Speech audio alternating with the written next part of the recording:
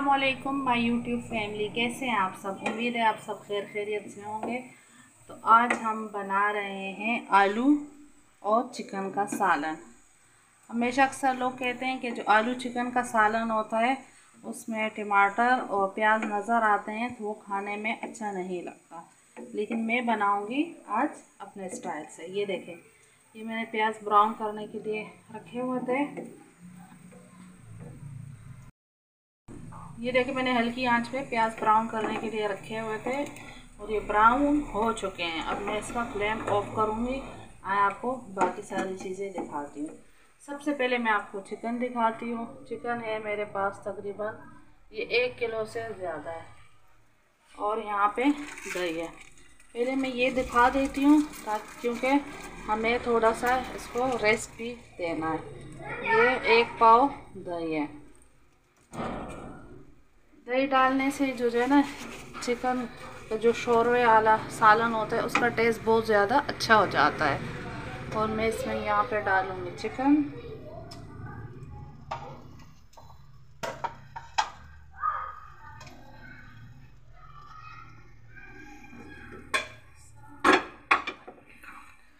और इसे मैं स्पून से अच्छे तरीके से मिक्स कर लूँगी। सवाल स्पून का है। स्पून नहीं नीचे पड़ी है स्पून पे। अच्छा पहले ये देखें। चले, मैं इसे अच्छी तरह से मिक्स करूँगी। और इसमें मैं ऐड करूँगी बिल्कुल थोड़ी सी हल्दी।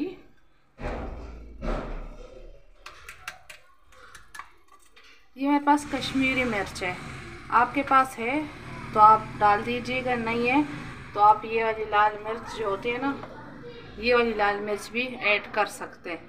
ठीक है, लेकिन मेरे पास इस वक्त कश्मीरी मिर्च है, इसलिए मैं कश्मीरी मिर्च ऐड करूँगी, क्योंकि कश्मीरी मिर्च का बस इतनी ये सिर्फ़ कलर के लिए, आपको बताया है मैंने कि ये सिर्फ़ कलर के लिए होती है। इससे बहुत प्यारा इसका जो है ना, जब चम्मच ले आओ। चम्मच ले आओ, मैं पकड़ लेती हूँ। कश्मीरी मिर्च से ये कि इसका बहुत अच्छा खूबसूरत कलर आ जाएगा। और चिकन और चिकन और आलू का जो शोर वाला सालन बनता है ना तो वैसे भी वाइट वाइट अच्छा नहीं लगता। इसको मैं अच्छे तरीके से मिक्स करके रख दूँगी। फिर मैं आपको इसका अगला प्रोसीजर बताती हूँ इसको आप ज़्यादा देर के लिए अगर रखते हैं तो अच्छी बात है वरना आप इसे फटाफट भी बना सकते हैं। तो चले, मैंने दही और मसाला रेडी करके रख दिया है और प्याज मैंने ब्राउन कर लिया था। इधर मैंने इसमें घी डाल दिया। अब मैं फ्लेम ऑन करूँगी। घी में, आयल मैंने कम डाला हुआ आज तो मैंने खैर घी डाला आयल ख़त्म हो गए तो घी डाला है मैंने इसमें। घी मैंने कम इसलिए डाला है क्योंकि जो प्याज ब्राउन की है, उसमें भी घी है। इसलिए इसका घी मैं निकालूँगी नहीं और इसी में ऐड करूँगी।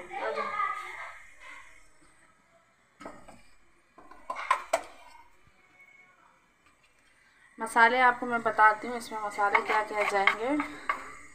ये देखें। ये गरम मसाला।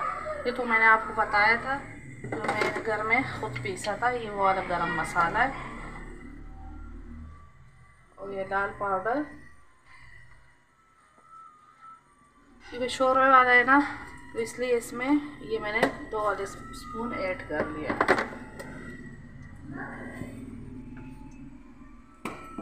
डाल दिया और हल्दी। आधा स्पून हल्दी।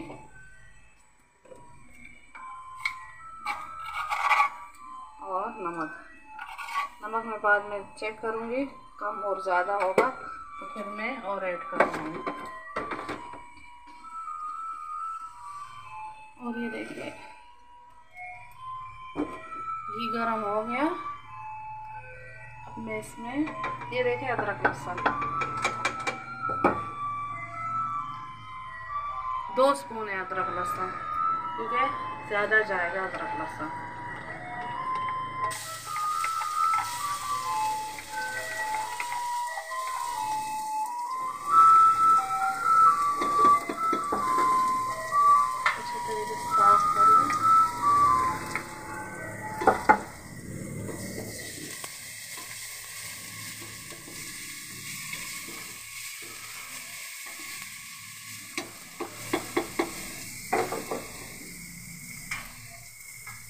ये तो गुड़िया गुड़िया ये मिक्स कर दे। ये कड़ी पत्ता ले आ ये देखे।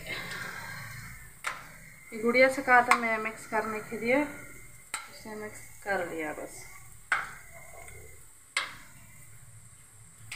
रखते हैं।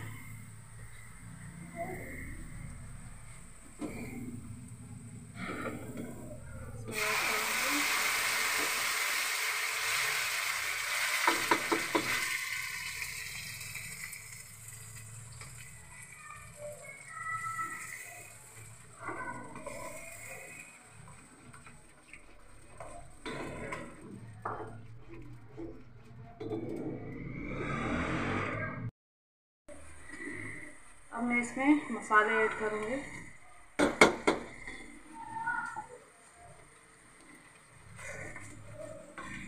क्या क्या मसाले डाले थे आपने इसमें? वो मैंने बता दिए थे जो जो मसाले डाले थे। लेट हो गई। मसाले तो मैंने सारे बता दी थी एक बार फिर बता दें। बता दी। ज़ीरा था? नहीं ज़ीरो तो था ही ये देखिए ज़ीरा था। लाल मिर्च पाउडर था ना और कश्मीरी मिर्च थी और हल्दी हाँ। और नमक। गरम मसाला भी था हम्म देखा करो ना साथ साथ में। ये देखें मसाले को मैं अच्छे तरीके से भून रही हूँ। तकरीबन एक मिनट तक मैं इसे अच्छी तरीके से भूनूँगी।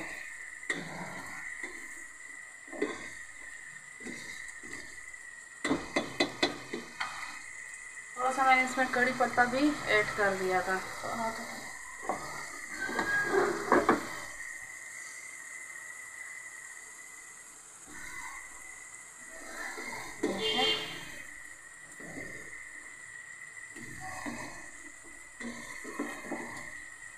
बस इसे थोड़ा सा भुन गया कच्चापन इसका ख़त्म हो गया। अब मैं इसमें ये प्याज ऐड कर लूँगी। घी क्योंकि मैंने कम ऐड किया था तो ये वाले घी मैं सारा इसमें ऐड कर दूँगी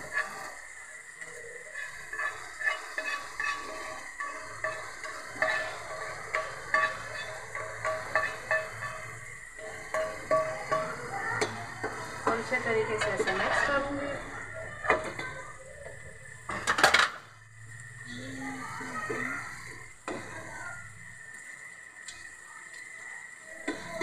ये देखें।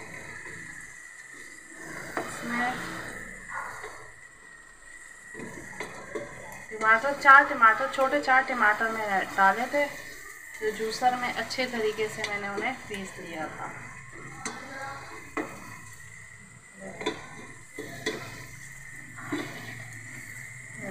ठीक है, मसाला भुन गया।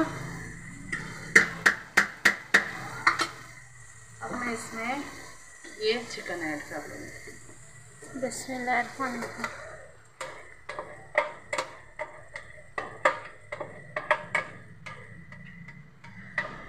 जो रह गया ना, इसमें मैं पानी डाल दूँगी, फिर इसके अंदर इसको डालूँगी। अब मैं इसको अच्छे तरीके से भूनूँगी। ये देखिए, कश्मीरी मिर्च का ये फ़ायदा होता है, इसका बहुत खूबसूरत कलर आ जाता है।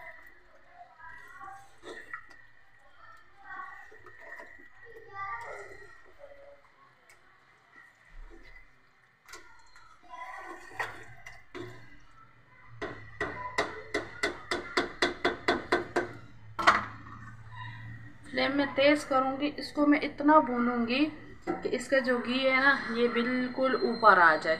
क्योंकि चिकन से जो हींग आती है, वो हींग हमने ख़त्म करनी है, ठीक है? क्योंकि चिकन तो हमने भूना नहीं है। तो इतना भूनेंगे, तकरीबन सात से आठ मिनट तो लग जाएँगे इसको भूनने में हमें। इसको मैं अच्छी तरीके से भून के फिर आपको दिखाती हूँ। तो चले आए, सात से आठ मिनट हो चुके हैं, हम इसे देखते हैं, ढकना हटाते हैं।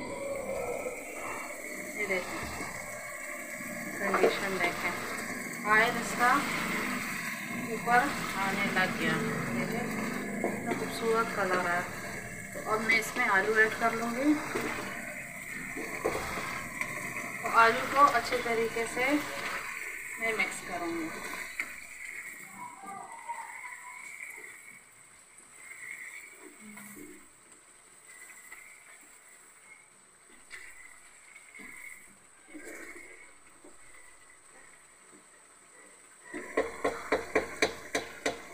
नीचे गैस जो है ना, मैंने हाई रखी हुई है इसकी। मैं इसमें नमक चेक करूँगी।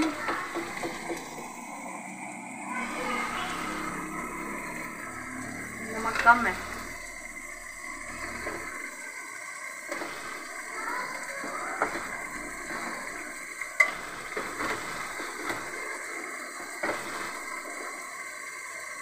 मैंने पानी भी रखा है गरम करने के लिए।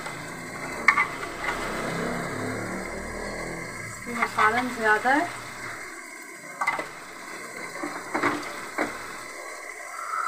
मिक्स करूँगी।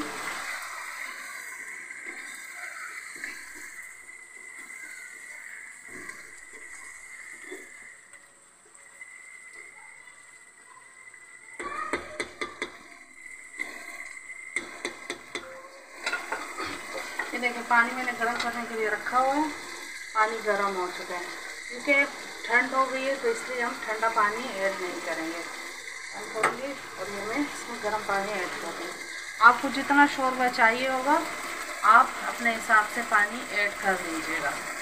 देखें, ये इसका निकलना शुरू हो गया। अब मैं इसमें गर्म पानी ऐड करूँ। आँच तेज़ ही रखिएगा। इसमें।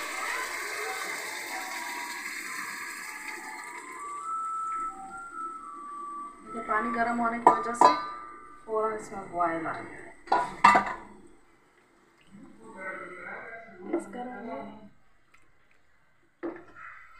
अब मैं इसमें ढकना लगा दूँगी। तकरीबन मैंने इसमें चार गिलास पानी ऐड किया है। तो दो गिलास पानी मैं इसमें छोड़ दूँगी और दो गिलास पानी इसमें सूख जाएगा। जब तक चिकन और आलू अच्छे तरीके से इसमें गल जाएगा, फिर मैं आपको बताऊँगी। मैंने ये रख दिया जब ये दो गिलास पानी रह जाएगा, फिर मैं आपको बताऊँगी। और प्लीज़ आप ज़रूर बताइएगा आपको मेरी रेसिपी कैसी लगती है। आप लोगों का बहुत बहुत शुक्रिया मेरी रेसिपी पसंद करने के लिए।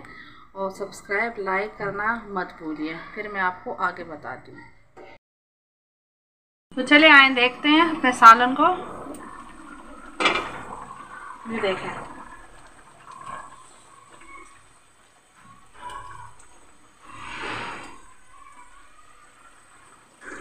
आलू को चेक करेंगे।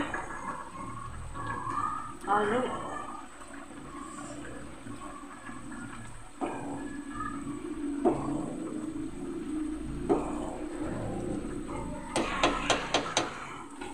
धनिया ऐड करूँगी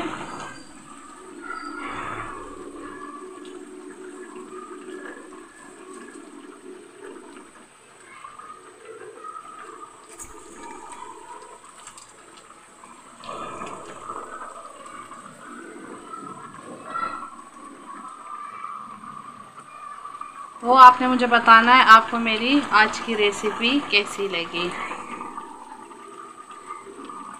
देखिए, तकरीबन अब मैं ढकना लगा के फ्लेम इसका ऑफ़ कर लूँगी। आप लोग देख लीजिए, मैंने चार गिलास पानी डाला था, दो गिलास पानी सूख गया है और तकरीबन दो गिलास पानी रह गया है। अब सालन हमारा रेडी हो गया। मैं इस पर ढकना लगा के फ्लेम ऑफ़ करूँगी। आप फ़ौरन सालन जो है ना, मत निकाला करें। थोड़ी देर ढकना रखा करें, चार से पाँच मिनट जो तरी होती है ना, उस वक्त देखे आपको नज़र नहीं आ रही। फ्लेम ये मैंने ऑफ़ कर लिया। चार पाँच मिनट के बाद जब हम इसका ढकना हटाते हैं ना, फिर सालन की तरी ऊपर आ जाती है। ये देखे, फ़ौरन जो है ना, नहीं आती है। तो आपको मेरी आज की रेसिपी कैसी लगी, मुझे ज़रूर बताइएगा। इन नेक्स्ट वीडियो में आपसे मुलाकात होगी। अल्लाह के हवाले।